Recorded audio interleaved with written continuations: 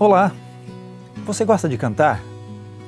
A meditação de hoje fala sobre cantando para Deus. Hoje é 28 de março, eu sou o Wagner Zil, seja muito bem-vindo mais uma vez aos nossos momentos devocionais, momentos em que nós meditamos na palavra de Deus através da meditação diária Maravilhoso Deus. O verso bíblico de hoje está em Colossenses 3,16. Que a palavra de Cristo habite ricamente em vocês instruam e aconselhem-se mutuamente em toda a sabedoria, louvando a Deus com salmos, hinos e cânticos espirituais, com gratidão no coração. Esse texto revela duas maneiras pelas quais a palavra de Deus pode permear nossa vida e nos abençoar. A primeira ocorre quando compartilhamos nossas experiências e nos aconselhamos mutuamente com irmãos de fé, citando os ensinos da Bíblia. A segunda consiste no louvor a Deus por meio do canto, cujas palavras refletem a mensagem bíblica. Podemos cantar para Deus por meio de salmos, hinos e cânticos espirituais.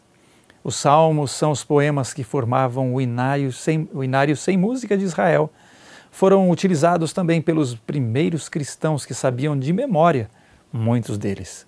Os salmos também são orações que, ao serem cantadas, possibilitam que todos pronunciem as mesmas palavras ao mesmo tempo. No grego clássico, a expressão hinos se referia a poemas compostos em honra a um deus ou herói. No cristianismo, porém, os hinos são composições que exaltam a Deus, o Pai, o Filho e o Espírito Santo por causa de quem ele é e pelo que tem feito.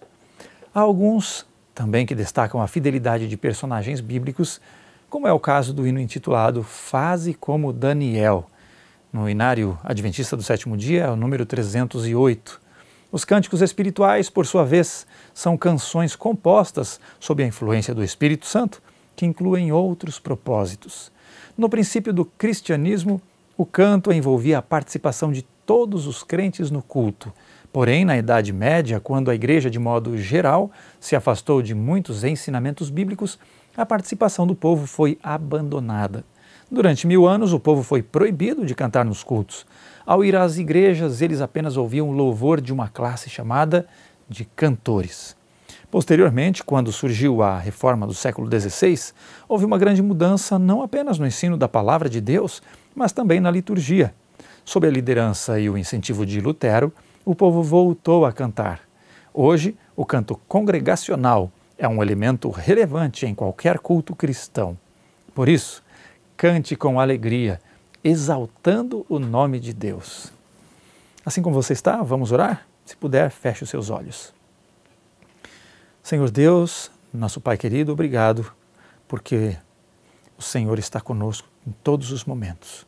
Obrigado, ó Deus querido, porque nós podemos louvar o teu nome através de hinos maravilhosos que o Espírito Santo iluminou a mente de tantas pessoas a comporem letras, melodias lindas e maravilhosas que exaltam o nome do Senhor. Ajuda-nos, ó Pai querido, através do canto, a sempre termos o Senhor por perto de nós, presente em nossa vida. Isso é o que nós pedimos e agradecemos nesse dia, em nome de Jesus. Amém. Você já sabe, né? Não deixe de participar aqui nos comentários, né?